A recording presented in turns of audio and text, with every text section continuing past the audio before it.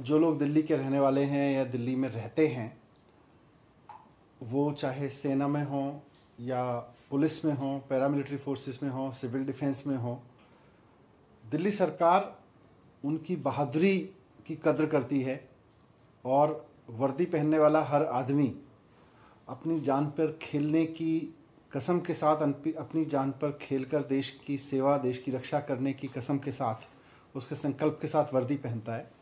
इस जज्बे को दिल्ली सरकार कद्र करती है और इसीलिए मुख्यमंत्री अरविंद केजरीवाल जी ने सरकार में आते ही ऐसे व्यक्तियों के लिए, उन सैनिकों के लिए जो देश के लिए जान लड़ाते हैं, उन पुलिस वालों के लिए जो अपना फ़र्ज़ निभाते हुए शहीद होते हैं, उनके परिवार के लिए एक करोड़ रुपए की सम्मान राशि की व्यवस्था की थी। ये जानते हुए कि कोई बहादुर व्यक्ति जब अपनी ड्यूटी निभाते हुए शहीद होता है तो उसकी, उसके परिवार को जो नुकसान होता है, उसकी भरपाई नहीं हो सकती है, लेकिन फिर भी उसके परिवार को सम्मान से जीने का एक ज़रिया बना रहे, उसके लिए हर एक परिवार को इस तरह के एक करोड़ की सम्मान राशि दिल्ली सरकार देती है। आज भी दिल्ली सरकार ने छः ऐसे बहादुर सिपाहियों की शहादत को नमन करते हुए निर्णय लिया है। उनके उनके बारे में निर्णय लिया है कि उनके परिवार को एक एक करोड़ रुपए की राशि देगी। जिनके ज़िक्र मैं करने जा रहा हूँ। इसका फैसला आज दिल्ली सरकार की एक मीटिंग में लिया गया। और छः ऐसे परिवार हैं जिनके, जिन, जिन्होंने अपना बेटा देश की सेवा करते हुए खोया है, अपना फ़र्ज़ निभाते हुए खोया है। सेना ने, के में बॉर्डर पे खोया है या दिल्ली में था तो यहाँ खोया है। इसमें से तीन एयरफोर्स के हैं, दो दिल्ली पुलिस के हैं और एक सिविल डिफेंस के हैं। तो मैं एक एक करके सबका ज़िक्र करना चाहता हूँ यहाँ, क्योंकि एक एक व्यक्ति देश के लिए बहुत महत्वपूर्ण था और उसने अपनी जान की बाजी लगा के देश की सेवा की और मिसाल पेश की है कि जब जब वर्दी पहनी जाती है तो देश की सेवा इस तरह से की जाती है। सबसे पहले हैं दिल्ली के, दिल्ली पुलिस के एसीपी स्वर्गीय संकेत कौशिक जी। ये दिल्ली पुलिस में एसीपी पर तैनात थे और बहुत बहादुर अधिकारी थे। ये राजकोरी रजोकरी फ्लाईओवर पर वाहनों की चेकिंग कर रहे थे तभी एक ट्रक ने उनको टक्कर मार दी। तो ये अपना फ़र्ज़ बहुत खूबी से निभा रहे थे और किसी गलत वाहन को रोकने की कोशिश कर रहे थे गलत तरीके से जा रहे वाहन को उसने उनको कुचल दिया। वहीं पे उनकी डेथ हो गई थी। आ, उनकी तीन बेटियाँ हैं उनके परिवार में उनकी पत्नी है पूरे परिवार की ज़िम्मेदारी उनकी पत्नी पर है, जो पेंशन से घर चला रही थी। तो दिल्ली सरकार ने उनकी शहादत को सलाम करते हुए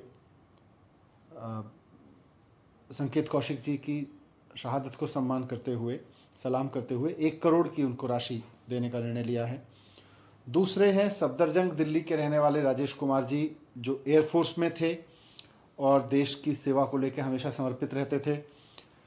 वो असम से जोरहाट में एयरबेस से उड़ान भरने के बाद उनका जो विमान था वो लापता हो गया था और उसका मलबा उसके बाद अरुणाचल प्रदेश में मिला था।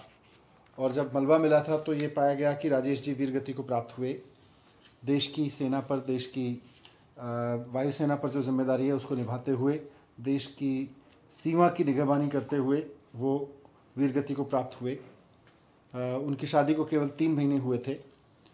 उनके परिवार के पास में आजीविका का भी कोई और साधन नहीं है।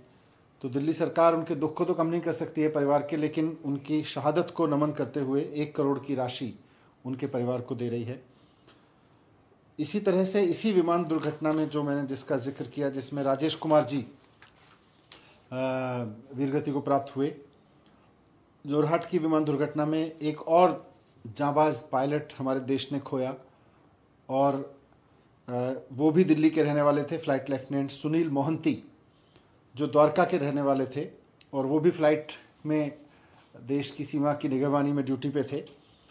और इस विमान हादसे में वो भी शहीद हुए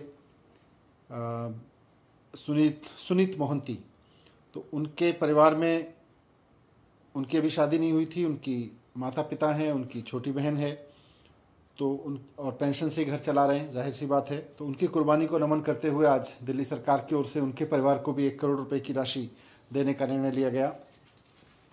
हम जानते हैं कि इस पैसे से उनकी कमी सुनीत की पूरी नहीं की जा सकती है, लेकिन उनके परिवार को एक सम्मानजनक जीवन देने का, सम्मानजनक जीवन जीने का ज़रिया उसमें मदद मिल सकती है। भारतीय वायुसेना के एक और ऑफिसर स्क्वाड्रन लीडर थे दिल्ली के ही रहने वाले मीत कुमार जी, जो अशोक विहार में रहते थे। और अपनी फ्लाइंग ड्यूटी के दौरान हिमाचल प्रदेश के कांगड़ा में उनका मिग ट्वेंटी वन दुर्घटनाग्रस्त हुआ था। इस हादसे में मीत कुमार जी शहीद हो गए थे। तो इस दुर्घटना ने अपने, ने देश ने भी एक बेटे को खोया और परिवार ने भी एक अपने बेटे को खोया। तो उनके परिवार के लिए एक करोड़ रुपए की सहायता राशि दिल्ली सरकार देगी। ये अशोक विहार दिल्ली के रहने वाले थे मीत कुमार जी। दिल्ली पुलिस के एक कांस्टेबल विकास कुमार जी वसंत विहार में पिकेट की गाड़ियों की चेकिंग कर रहे थे और रात में उनके ऑफिसर्स ने उनको गाड़ियों को रोकने के लिए, जो गलत गाड़ियाँ चल रही थी, गलत तरीके से चल रही थी, उनको रोकने के लिए इशारा किया। तो एक तेज़ रफ्तार स्विफ्ट ने उनको, जिसको वो रोकने की कोशिश कर रहे थे, उनको कुचल दिया और वो कुचल के भाग गया। उसके बाद उनको एम्स में भर्ती कराया गया, लेकिन उनकी वहाँ पर डेथ हो गई। वो शहीद हुए, अपना फ़र्ज़ निभाते हुए।